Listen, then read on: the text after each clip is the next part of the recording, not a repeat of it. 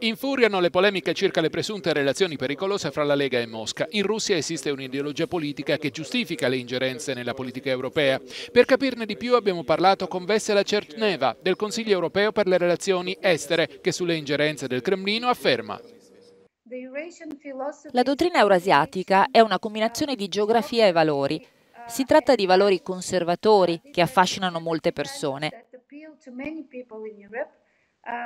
Sono valori che cercano di negare l'illuminismo europeo e tutto quello che l'Europa ha conquistato sui diritti umani, sulle libertà individuali, sulla libertà di stampa uh,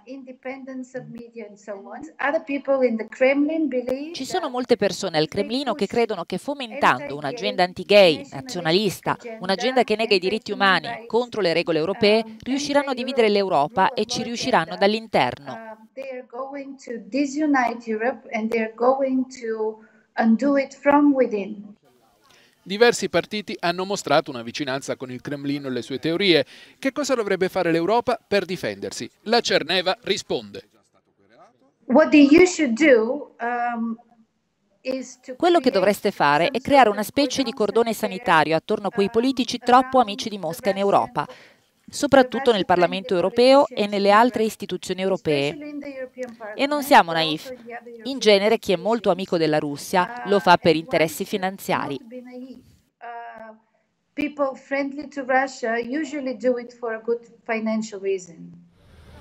I politici che guardano alla Russia si rendono conto che questo rapporto potrebbe diventare subalterno?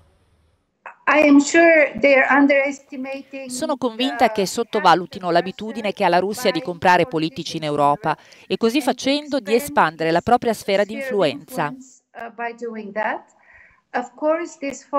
Questa tattica sta pagando perché ci sono tante persone che ritengono l'Europa dovrebbe essere più sovrana, che gli Stati membri dovrebbero essere più sovrani in un contesto europeo e sfortunatamente questo è un contesto favorevole all'espansione russa. Um, ground for, for Russia to expand.